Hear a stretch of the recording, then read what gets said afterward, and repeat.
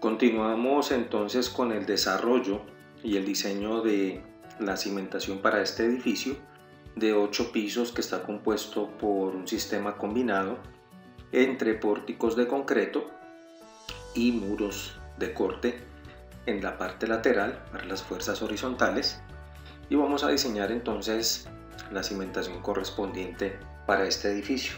Vamos a utilizar una capacidad, un esfuerzo admisible del suelo de 1.5 kilogramos sobre centímetro cuadrado y diseñar entonces la placa para la cimentación de este edificio. Entonces vamos inicialmente a crear la carga correspondiente, vamos a definirla en el menú correspondiente a las combinaciones de carga. Vamos a crear acá una carga con unas características. Vamos a crear una carga bueno cualquiera de estas en realidad nos funciona vamos a agregar una copia y vamos a crear una carga que se llame cargas de servicio o cimentación mejor la vamos a colocar estas cargas de servicio corresponden a una carga viva y una carga muerta sin mayorar es decir un factor de 1. Con esto pues ya tenemos cómo ubicar nuestra, nuestra carga. También vamos a definir eh, cómo o por qué se toma la decisión de adicionarle o de crearle una cimentación eh, con placa a esta edificación y vamos a hacer los chequeos correspondientes. Entonces vamos a correr el programa y entonces vamos a ubicarnos en la planta, en la base y lo que vamos a determinar es las cargas, el valor de las cargas que bajan por cada uno de estos joints con el fin de determinar el mayor y así poder diseñar posiblemente o determinar las áreas de esas posibles zapatas. Entonces ese es nuestro primer ejercicio. Vamos a determinar acá en las cargas que se toman para el diseño. Vamos a tomarlas todas, está bien. Vamos a correr el programa y vamos entonces a ubicarnos en 3D vamos a revisar lo correspondiente a la, en el display, a mostrar las tablas y vamos a determinar las reacciones en cada de esos puntos denominados join.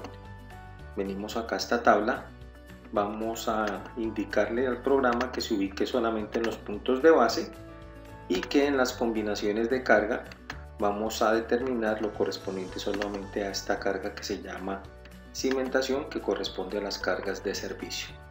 Vamos a revisar acá las unidades, vamos a ubicarlas eh, con unidades consistentes como el kilonewton, vamos a dejarlo en kilonewton metro. damos OK, vuelve y determina el valor de estas cargas y vamos a exportarlas ahora. Entonces vamos a dar clic derecho, vamos a exportar Excel, ya aquí se ha creado el archivo y vamos a borrar entonces o a ocultar esta celda de los puntos también vamos a determinar solamente las fuerzas en X, en Z, perdón, y vamos a ocultar también este valor de los momentos. Le vamos a ocultar. Con estos valores, pues es lo que vamos a determinar el área de cimiento y de manera similar a como vimos en la hoja de cimentación para zapatas, vamos a hacer el mismo ejercicio, lo vamos a poner en paralelo y veíamos en nuestra hoja de cimentación cuando diseñábamos las zapatas que le colocamos una sobrecarga del 10%. Entonces vamos a determinar ese valor, este valor que tenemos en la carga por el 10%, es decir, multiplicamos ese valor por el 1.10. Vamos a quitar acá una cantidad de decimales.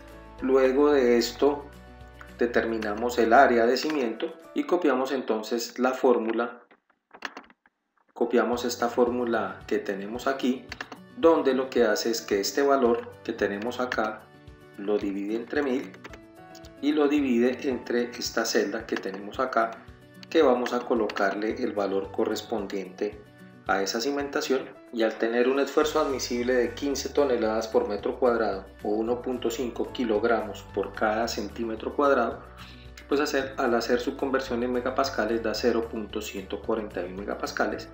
Aquí tenemos esta carga que corresponde al 10% más que la que tenemos aquí y teniendo estos dos valores pues determinamos el área del cimiento al área del cimiento que nos da para esta, esta edificación considerando que aquí pues todos los valores han sido filtrados de mayor a menor.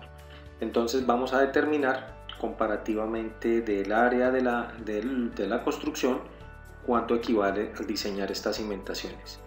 Entonces tenemos esta área acá. De forma similar pues entonces vamos a copiar para este cimiento.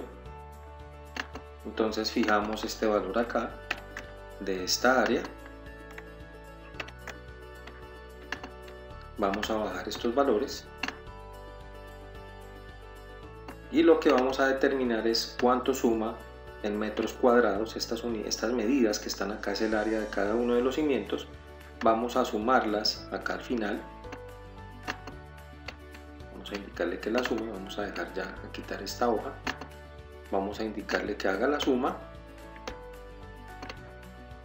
desde acá hasta la parte final y vamos a determinar que el área en metros cuadrados corresponde a 488.76 metros cuadrados de zapatas por decirlo de alguna forma. Ahora vamos a ver cuánto es el área de la construcción. Vamos al programa, nos ubicamos en planta, vamos a indicarle que nos ubique en la base y tenemos la siguiente, el siguiente valor. la medida correspondiente será 12, 24 y 5, 29 por 15 metros. Esa sería el área total de esta edificación, 29 por 15 metros.